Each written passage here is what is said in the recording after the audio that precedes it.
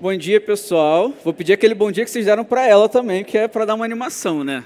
Bom dia. Bom dia. Agora sim.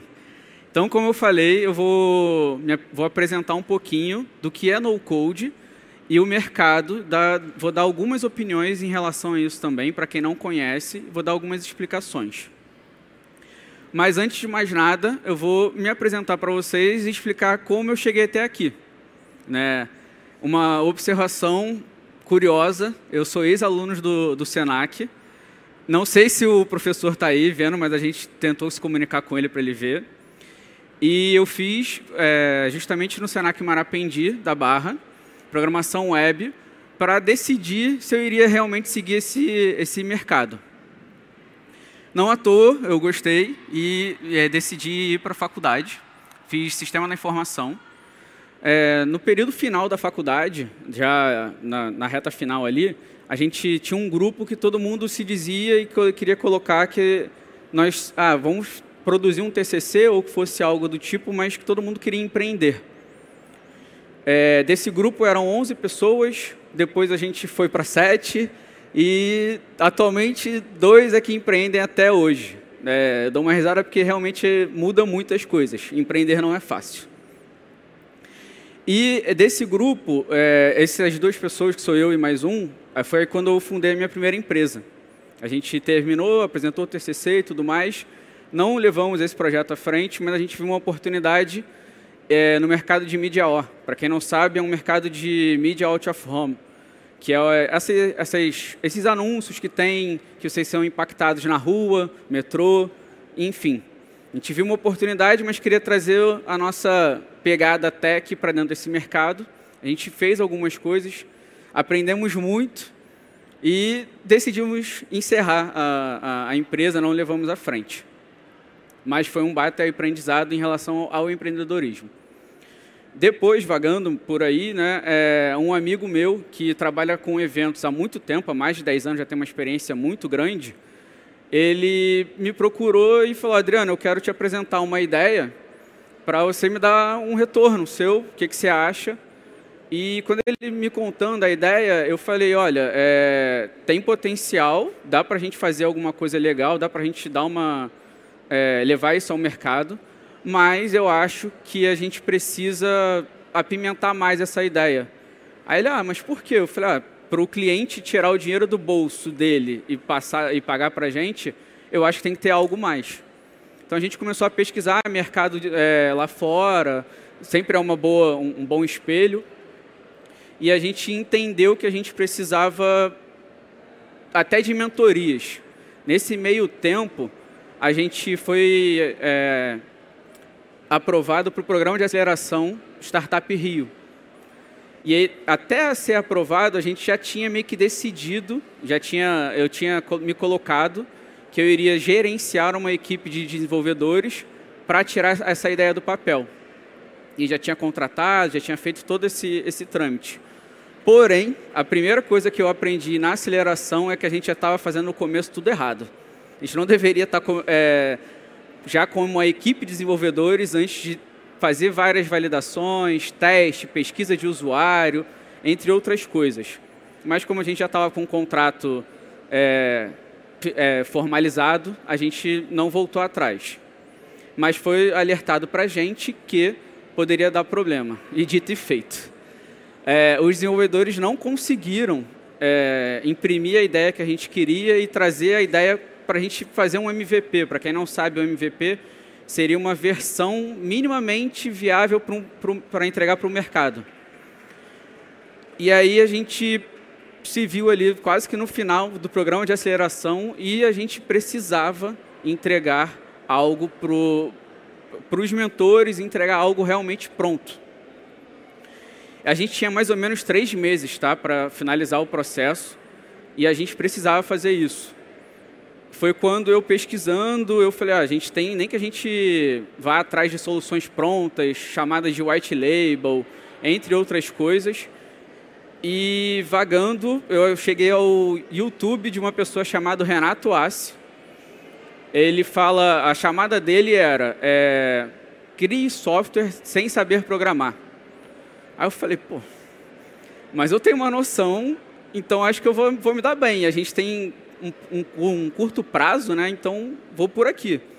Conversando com esse meu sócio, eu falei: olha, me dá uma semana, eu vou tirar todas as dúvidas com esse doido que está falando aqui, vou ver se isso aqui é realmente uma oportunidade para a gente, se é o caminho. Não à toa, depois, quase que um mês e meio depois, a gente tinha o nosso primeiro MVP. Então é aí que eu fui conheci o que é no code. É o que o Renato fala e realmente a gente conseguiu. Para a gente ter uma, uma ideia de tempo, antes a gente já estava seis meses com a equipe de desenvolvimento e a gente não tinha algo pronto. A gente tinha coisas soltas, prontas, mas que não se comunicavam. É, em um mês e meio eu consegui tirar a ideia do papel sozinho e tem essa, essa, é, essa comparação que eu gosto de, de trazer. Depois disso, algumas pessoas foram me procurando para desenvolver as ideias dela, meio que de forma freelancer. Eu peguei alguns projetos para ajudar ele com a experiência que eu estava tendo na aceleração, com a experiência que eu estava tendo inicialmente no, no, no no-code, porque a empresa já estava lançada, a, a plataforma que a gente tinha feito para os eventos. E aí, eu, num dos projetos, eu conheci o Marlon. Esse projeto foi para o governo da Austrália. A gente, uma startup da Austrália chegou até a mim primeiro, inicialmente, e depois é, o projeto foi tomando uma proporção muito grande e o Marlon também foi é, trabalhar junto na equipe. E a gente se conheceu, se deu muito bem. E eu contei essa história para ele e ele falou assim: ah, você não acha que é uma oportunidade a gente criar uma uma agência, colocar na sua experiência, ele tem uma experiência de desenvolvimento high code muito grande, a gente consegue trazer isso? Eu falei, eu acho que sim. Foi quando eu dei uma pausa na, na BMeeting, que está ali, que seria a plataforma para eventos, e foquei 100% na IUP. Explicando o que é IUP, como eu falei, é sim uma celebração de alegria, por quê? Imagine que eu estava ali sem, sem conseguir é, imprimir a ideia em seis meses já com uma equipe de desenvolvimento, porém, em pouco tempo eu consegui tirar a ideia do papel e levar a ideia ao mercado. Então é uma yupi, uma celebração de alegria e é isso que a gente quer trazer para os clientes também, quando eles chegam com a ideia para a gente. Mas vocês devem estar se perguntando o que é no-code. Se a gente for pegar uma descrição mais básica, na prática, é a tecnologia que permite qualquer pessoa crie qualquer coisa qualquer sistema, qualquer aplicativo, qualquer automação. Mas eu vou fazer um parêntese aqui, tá? É, como eu disse, eu sempre vou dar uma pitada da minha opinião. Então, nessa descrição, eu não diria que é qualquer pessoa. Porque qualquer pessoa poderia ser astronauta, mas nem todo mundo quer ser. Então, você pode querer ser um programador high code, então você não vai querer lidar com o no code. Então, o no-code é sim uma, uma metodologia, uma abordagem muito mais simples e acessível para qualquer pessoa que, com menos conhecimento técnico, crie os seu, seus softwares, seus aplicativos e afins. Se vocês vão notar que eu vou falar muito sobre simplicidade e agilidade. Até porque se eu, é, em um mês e meio, eu imprimi e coloquei a ideia para o mercado, a gente está falando de agilidade. Aqui tem algumas das ferramentas que vocês podem até já conhecer algumas, mas não todas. É, quem hoje aqui pensa em construir um site básico e não pensa, ah, eu vou uma landing page, eu vou abrir um WordPress da vida. Ou se você colocar no Google, quero construir uma landing page, vai aparecer um, milhares de pessoas falando sobre WordPress. Antigamente era feito de outro jeito. Hoje, se eu não me engano, um dado mais específico, 97% dos sites na internet são feitos com WordPress. Sites e landing page. Mas a ferramenta que eu falei para vocês, que eu aprendi e coloquei a ideia, o projeto no ar, ela está ali como Web Apps, é a chamada Bubble. É uma ferramenta altamente poderosa. Eu já conheci mentores falando muito bem dela e eu ainda não tinha me experimentado e foi quando eu fui conhecer.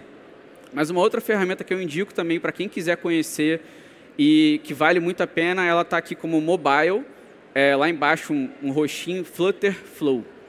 Também vale muito a pena e você consegue é, fazer milhões de coisas com, com ela. Tem outras ferramentas, mas eu só trouxe aqui para a gente ter uma ideia. é, vocês podem estar se perguntando alguns cases que a gente já tem, no caso com a agência, com a empresa. O que, que a gente consegue fazer?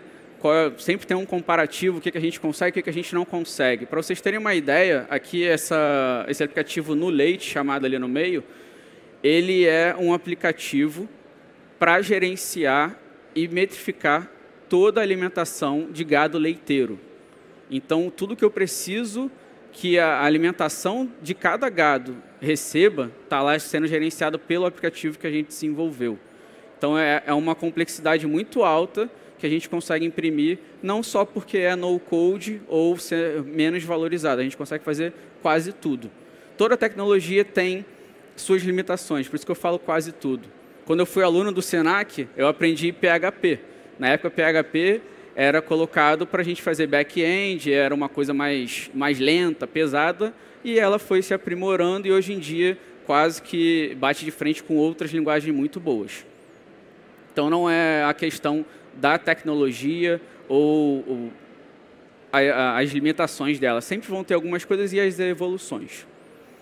Tendências que eu posso trazer para vocês aqui em relacionada a no-code. Como eu disse para vocês, é, o crescimento é um ponto muito fundamental e, e, acho que o crucial, que a gente consegue uma exponencialidade muito grande. Imagine que eu, se eu não tivesse perdido, digamos assim, a gente aprendeu muita coisa com os seis meses com desenvolvedores high code, mas se eu não tivesse empregado esse tempo e tivesse ido diretamente ao no-code, colocado em um mês e meio a ideia no mercado, testado, validado, aprendido com, com os erros que sempre tem, o que, que eu estaria ganhando? A gente está falando de custo-benefício. Né? Isso para uma empresa, quando a gente consegue trazer ah, uma automação, uma, uma nova, um novo processo que não existia dentro da empresa, a gente está falando de custo, dinheiro, consequentemente, uma empresa que está economizando ou lucrando mais, o que, é que acontece? Ela pode contratar mais, abrir novas áreas e assim por diante. Essas ferramentas que eu mostrei para vocês, um segundo, uma tendência muito alta é que cada vez mais elas vão passar a conversar entre si. Você consegue integrar todas elas, ou com blockchain, AI, tá, agora está na moda também, é muito fácil. Então você consegue potencializar todas, digamos, todos os superpoderes dessas ferramentas que existem com alguma plataforma no code ou low code. É, mas eu preciso trazer para vocês algumas realidades, como eu disse, relacionadas ao mercado de trabalho também e às habilidades.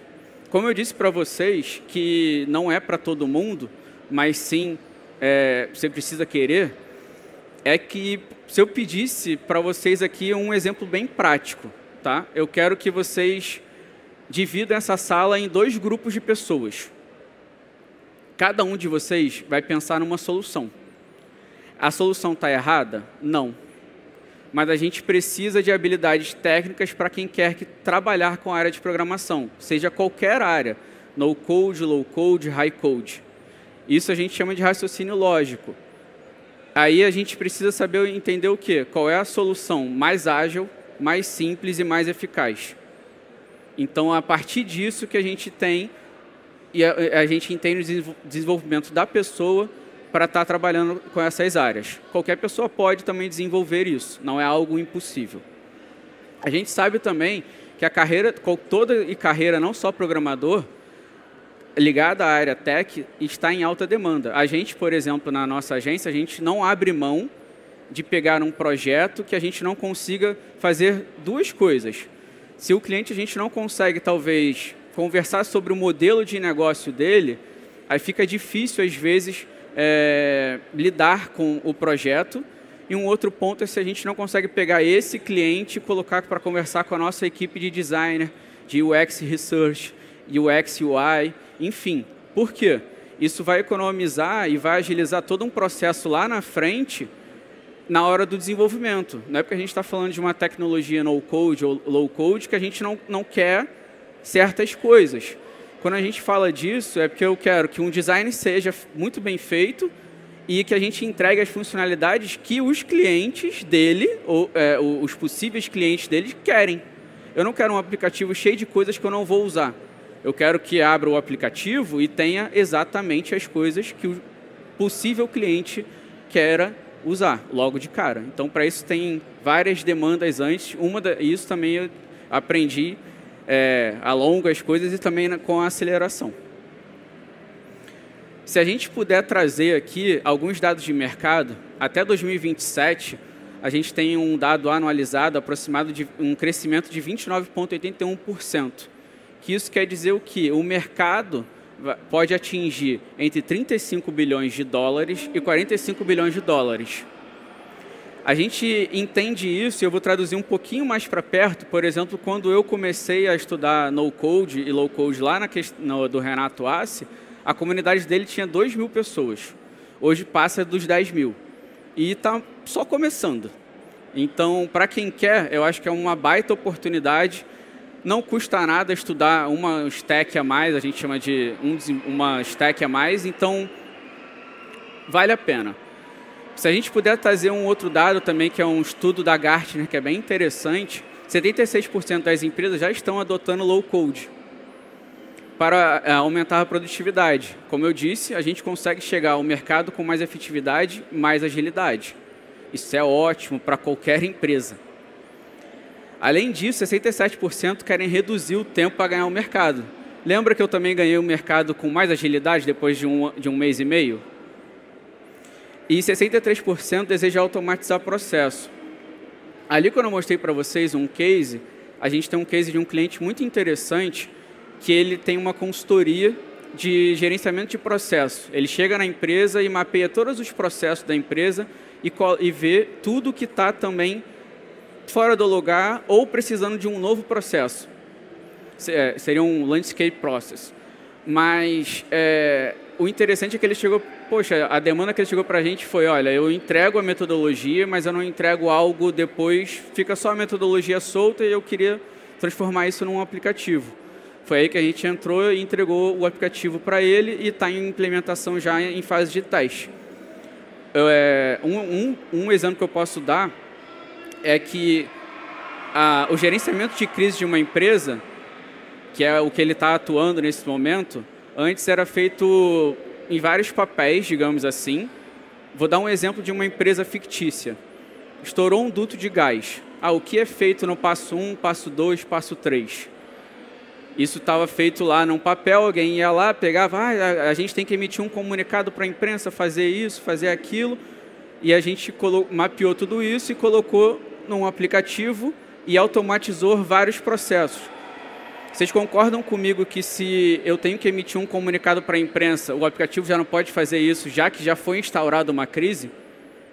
Então a gente está automatizando o processo, eliminando o erro e assim ganhando tempo. Mas aí eu vou trazer um dado mais próximo para vocês, que saiu agora. É, até 2024, a Petrobras quer ter no seu corpo de funcionários 2.500 desenvolvedores OutSystem. Para quem não conhece OutSystem, é uma plataforma low-code altamente poderosa, já está na Europa é altamente difundido. E isso é muito interessante para quem quer entrar no mercado. Que a gente já tem uma empresa aqui no Brasil que já quer um, um corpo extremamente grande, com certeza esse projeto é muito grande e que eles precisam desse, dessa quantidade de pessoas. Recomendações que eu posso passar para vocês aqui, como eu disse, falei alguma ve algumas vezes dele, o, conteúdo do Renato Assi, ele foi premiado como top 1 mentor do mundo sobre no code e low code. Então assim, quer dar uma olhada só para conhecer mais, recomendo o YouTube dele. Ele é uma pessoa totalmente aberta, até antes de vir aqui, ele, eu, eu peguei os dados com ele para trazer para vocês. E não é nenhuma recomendação, mas é mais uma reflexão. Eu não sei se é assim que pronuncia o nome dele, mas é o Thomas Donk, né, fundador do GitHub. Para quem não conhece, é uma plataforma, uma biblioteca de códigos, né, uma hospedagem de código. E numa palestra ele disse: o futuro do código é sem código. Então eu vou pegar a fala dele e fazer uma reflexão. Hoje a gente está aqui conversando em português, né? A linguagem mundial, digamos, de código é em inglês. Né? As coisas são colocadas em inglês. Mas por que não a gente inverter? Por que, que a gente não inverte essa, essa operação e a, a, a máquina vai aprender a, a entender o que a gente quer falar? Que nada mais é que essas plataformas hoje, eu arrasto um botão e coloco um botão, é traduzido um código ali por trás e assim a máquina entende que aquilo ali é um botão na posição X, Y, Z. Então a gente está invertendo, eu acho que isso é um caminho muito bom. É por isso que eu também defendo e fiz essa, essa analogia com a fala do fundador do GitHub. Aqui eu gostaria de deixar meu agradecimento para vocês. Quem quiser, esse QR Code aqui é, foi uma plataforma que a gente também desenvolveu, é um aplicativo que ele é um link na bio, entre aspas, um pouquinho mais poderoso.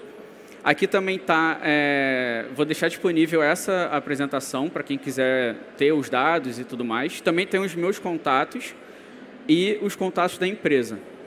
A gente vai também abrir para algumas perguntas e eu fico à disposição.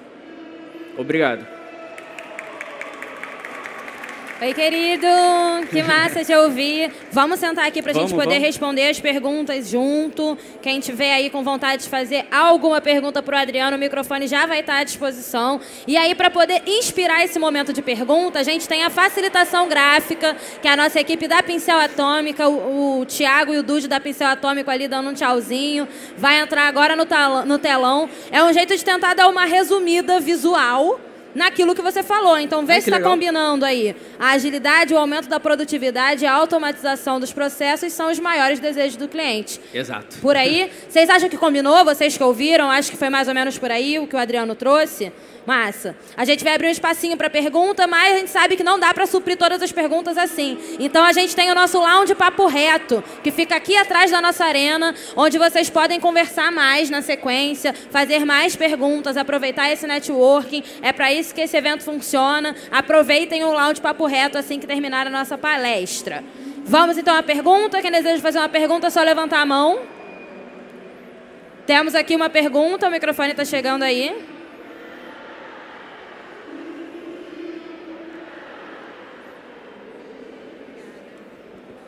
Bom dia. É, eu queria que explicasse um pouco mais a diferença entre no code, low code e high code, né? Obrigado. Qual o seu nome? Ótima pergunta. Daniela, então, é, se fosse uma, de, uma descrição bem, bem básica, no code sem código. Sem código nenhum, não existe nenhuma linha de código Low code existe uma linha de código, mas é uma, uma interação de código baixa, é baixo código. High code é 100% código. Eu diria que a diferença são as plataformas que permitem você inserir certos códigos para personalizar, as plataformas que não permitem você inserir código algum e ou tudo que a gente já sabe a programação mais raiz mesmo, que seria só código, você não tem nenhuma interface visual de arrastar ou fazer algumas coisas assim. Mas seria uma, uma coisa bem, bem sucinta, bem assim.